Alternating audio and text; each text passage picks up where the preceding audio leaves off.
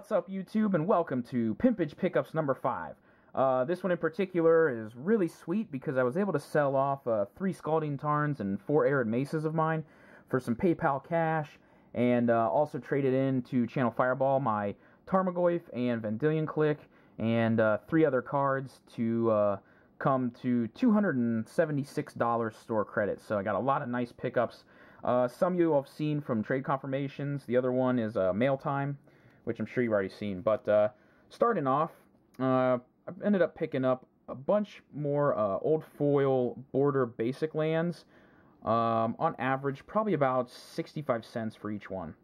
Uh, got them off TCG Player, picked up some from my local store, and uh, this is what I want my um, basic mana base to be uh, for the cube. This one in particular, I, I, picked up a few of these. These John Avon from Onslaught. Love that artwork. Got a bunch of those ones. But um, yeah, so gonna try to finish getting uh, the rest of those put together. So that way, when people are building their decks, they can just uh, build from all those foil basics, and their deck will look really sweet. Uh, next up is uh, Torch Fiend from Dark Ascension, Frenzied Goblin from Ravnica, Spikeshot Elder, Stromkirk Noble, Keldon Champion. Love the way that old border looks. Mesmeric Fiend. Entomber Exarch. Izzet Charm. Promo. I like the artwork on this. Cloudgoat Ranger from Lorwyn. Into the Roil. Seagate Oracle. Bloodgift Demon. Search for Tomorrow from Time Spiral, Wall of Reverence, Dismember, the promo, Shriekmaw.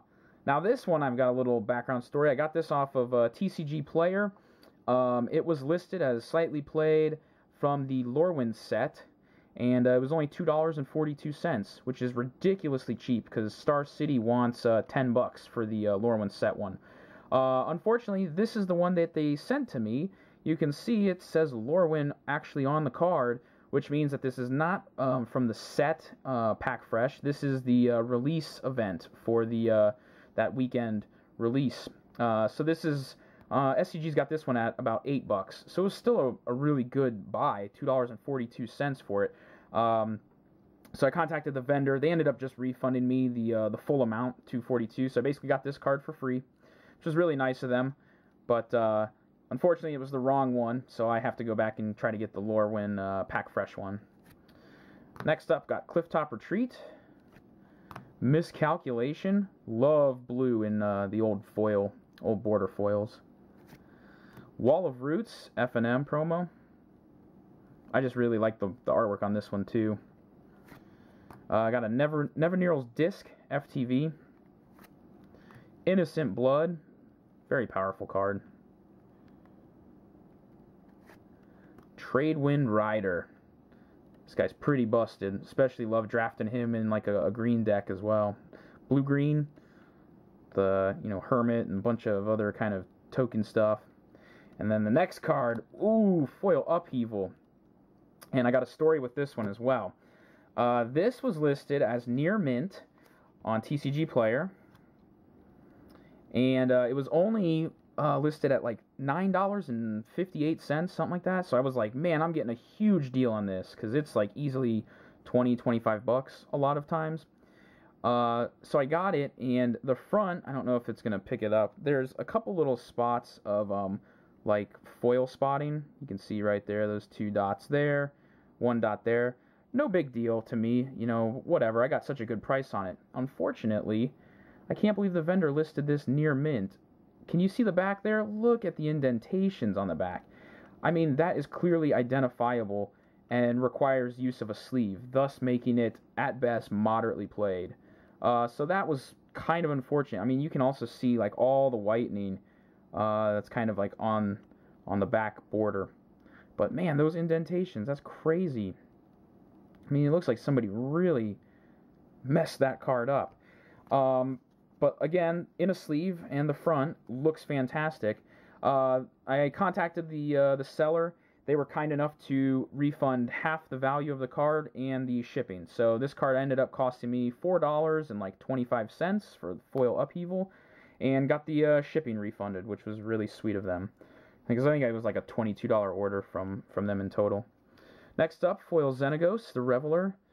Got this from my local store. Uh, shop owner was doing a 30% off Star City prices on standard cards, so I think this guy was like, I don't know, 12 bucks, something like that. Next up, Path to Exile from Conflux. Gideon Jura, Rise of Eldrazi. And then I got a Mana Confluence, also from my local. Uh, I was kind of holding out on this card, but 30% off. I think it was like 21 bucks, and I just traded in a bunch of stuff from my binder that I didn't need. So happy to have that added to the cube. Now we're getting into the good stuff. Check out this counterspell. This is my favorite artwork. Uh, it's the 7th edition counterspell. No flavor text. It's just real simple, right to the point. Boom. Counter target spell. But uh, it's the artwork that really does it for me. I really like a lot of the uh, 7th edition artwork.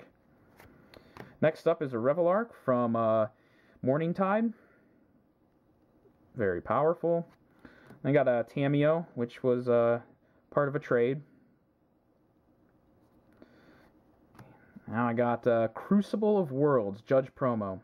Really like just kind of the old border on this. That's why I went with the promo.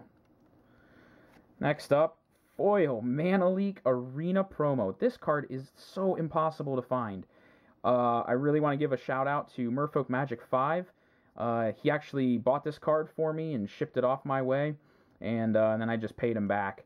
But uh, his local shop had this, uh, had a couple of these in stock. Um, TCG player completely sold out, and Star City was sold out at 40. They got three in and listed it at 50. Uh, it's probably going to be another card that uh, just continuously goes up.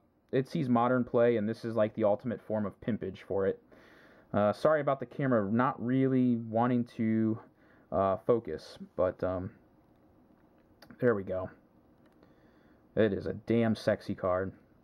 Next up, Sinkhole promo. Ooh, so happy to finally have Sinkhole in my cube. Got this from Channel Fireball with my credit. Along with promo show and tell.